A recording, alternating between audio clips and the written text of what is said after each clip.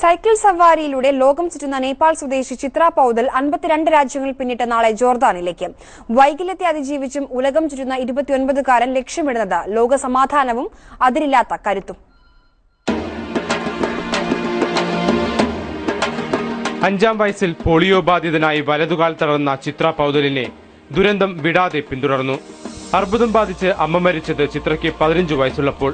പ്രതിബന്ധങ്ങളിലൂടെ നീങ്ങിയ നാളുകൾ വൈകല്യത്തെ പഴിക്കാതെ അസാധ്യമായത് സ്വന്തമാക്കുക എന്ന പ്രതിജ്ഞയെടുത്ത യുവാവ് പിന്നീട് ഇത്തരക്കാരുടെ ആവേശമായി മാറി രണ്ടായിരത്തി മൂന്നിൽ നേപ്പാളിൽ നിന്ന് തുടങ്ങിയ സവാരി ഇപ്പോഴും തുടരുകയാണ് My main aim is to encourage disabled people around the world. We can do good things being a disabled person. We should not be harassment in our life.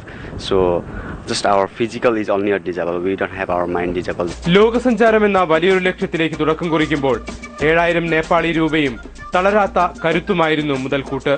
ദിവസം അമ്പത് കിലോമീറ്റർ സൈക്കിൾ ചവിട്ടി തുടങ്ങിയ ഇദ്ദേഹം ഇപ്പോൾ നൂറ്റി മുപ്പത് കിലോമീറ്റർ പിന്നിടും. നേപ്പാളിൽ നിന്ന് ഇന്ത്യയിലൂടെ അമ്പത്തിരണ്ട് രാജ്യങ്ങൾ പിന്നിട്ട് യു എയിലും എത്തിയ ചിത്ര ഇനി ജോർദാനിലേക്കാണ് പോകുന്നത്. സഹപാഠി അശോക് റായിയാണ് സഹായി. നൂറ് രാജ്യങ്ങൾ പിന്നിടുന്നതോടെ ഗിന്നസ് ബുക്കിൽ ഇടം പിടിക്കാനാകുമെന്നും പ്രതീക്ഷിക്കുന്നു. ലോകസമാധാനത്തിനായി ഉലകം ചുറ്റുന്ന നേപ്പാൾ സ്വദേശി ചിത്ര പൗതൽ. വൈകല്യമുള്ളവർക്കും എന്തും നേടാനാവുമെന്ന സന്ദേശമാണ് ലോകത്തിൽ സമ്മാനിക്കുന്നത്. Cameraman Miraj മുഹമ്മദിനൊപ്പം N M Aboobacker Manorama news.